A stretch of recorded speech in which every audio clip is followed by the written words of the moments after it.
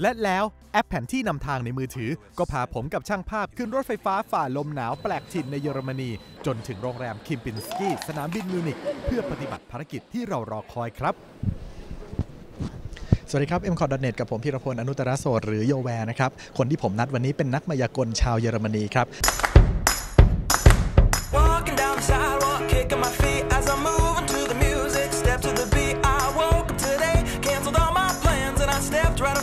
เขาใช้ iPad ประกอบการเล่นกลได้อย่างน่าทึ่ง และเขามีชื่อเสียงอย่างมากบนโลกออนไลน์ครับ เราไปพบกับเขากันเลยครับ งานนี้ผมหัดพูด Guten Morgen ไปสวัสดีตอนเช้าเป็นภาษาเยอรมันกับเขาครับ คุณไซมอนเปโร นักมายากล iPad ก็เลยเซอร์ไพรส์ผมกลับ ด้วยกลแรกจาก iPad ของเขาครับแหมประทับใจจริง คุณไซมอนเพิ่งจะลงเครื่องกลับมาบ้านที่มิวนิกครับ หลังเดินสายแสดงที่สเปน ที่เมืองเบรเมน เยอรมนี แล้วก็วันนี้มีคิวว่างให้ผมครับ พรุ่งนี้ก็ต้องขึ้นรถไฟไปแสดงต่อที่อื่นอีก โชว์ที่นำมาฝากก็ไม่พ้นกลที่สร้างชื่อเขาครับ นั่นคือการเติมความมหัศจรรย์ iPad ให้ทำโน่นนี่ได้อย่างน่าทึ่งครับ uh, you have pen Oh, I see. But ac- actually, the good thing is um, I'm always having. ดูกลเพลินๆพอถึงช่วงจะสัมภาษณ์ผมก็ดันลืมเอาปากกามาจนได้ เดือดร้อนคุณไซมอนต้องหยิบปากกาให้ครับ แต่ระดับนี้แล้วธรรมดาซะที่ไหนล่ะ Do you want to use digital or real one? นั่นขนาดปากกายังเสกจากจอเลยครับ นี่แหละฮะ นักมายากล คุณไซมอนดีกรีนักมายากลยอดเยี่ยมของเยอรมนี หัดเล่นมายากลตั้งแต่อายุ 15 ครับ เคยทำรายการโทรทัศน์ ล่าสุดมาดังเป็นพลุแตก หลังโพสต์คลิปการแสดงด้วย iPad เข้า YouTube จนเป็นที่รู้จัก ได้รับเชิญไปแสดงในหลายประเทศ เขาบอกว่าออกทีวีมา 7 ปี คนรู้จักไม่เท่าออก YouTube คลิปเดียว ซึ่งล่าสุดก็ยังได้เป็นพรีเซนเตอร์ของเกมดังอย่าง Angry Birds ที่จะมีโชว์ใหม่ทยอยปล่อยมาเป็นระยะระยะด้วยครับ To me, YouTube changed everything.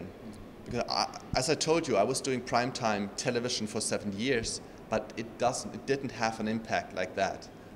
การหันมาใช้ iPad เล่นกลทำให้เขาเดินทางไปแสดงอย่างสะดวกสบาย คุณไซมอนเลยไม่ต้องมีสัมภาระเยอะครับ อุปกรณ์จนถึงโต๊ะก็จบอยู่ในกระเป๋าใบเดียว เขาติดต่อแฟนๆ ผ่านเว็บและ Facebook ครับทำให้กลบางชุดก็ได้ไอเดียต่อยอดมาจากผู้ชมด้วย เรียกว่าคุณไซมอนเปเอโรนี้ เป็นนักมายากลรุ่นใหม่ที่ใช้เทคโนโลยีได้คุ้มทุกมิติจริง ๆ ครับ วันนี้เราก็ได้ดูโชว์พิเศษมากมายเลยนะฮะจากคุณไซมอน ถ้าเกิดคุณผู้ชมอยากจะดูต่อเนี่ยเข้าไปที่ YouTube slash iOS Magic นะครับที่นั่นมีกลอีกเพียบเลยให้ดูไปดูคุณไซมอน และติดตามผลงานอื่นๆของเขาด้วยนะครับและตอนนี้หลังจากนี้เราจะไปชม p a r a d e IT แล้วก็ IT เด็ดนะครับแต่ว่าก่อนจะลาจากกันคุณไซมอนก็มีทริคมาฉลองแชมป์ของบาเยิร์นมิวนิกด้วยครับ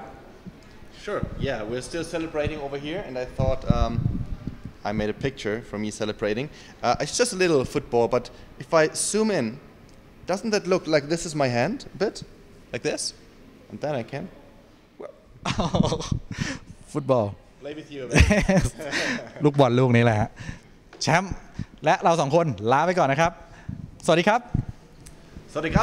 Contact. ะ น้องปั่นเปรียพรทรัพย์แสนยากรพาเรตไอทีค่ะ Microsoft ประกาศจำหน่าย Xbox One ในเดือนพฤศจิกายนนี้ ตั้งราคาเบาๆ 499 เหรียญขนเกมมันส์มาสั่นสะเทือนของเกมเพียบ ส่วน Xbox 360 ก็ปรับโฉมใหม่บางเบาขึ้นค่ะแถลงตามกันมาติดๆวางขายปีนี้เช่นกันกับ PlayStation 4 ของ Sony ตั้งราคา 399 เหรียญสหรัฐ ตัดราคากันเห็นๆค่ะ แถมยังเล่นเกมแผ่นได้โดยไม่ต้องต่อเน็ต โดยต้นปีหน้าจะเปิดระบบเกมเล่นผ่านคลาวด์อีกด้วยค่ะ คุณเองก็เล่นกลได้ครับ เพียงยอมจ่าย 90 บาท ซื้อแอปอย่าง Card Now นี่ทำให้การพบกันครั้งแรกมีสีสัน เพราะคุณเสกนามบัตรออกมาจากหน้าจอมือถือได้อย่างอัศจรรย์ แต่ต้องหมั่นฝึกฝน อย่าให้กลแปกจนหน้าแตกยับก็แล้วกัน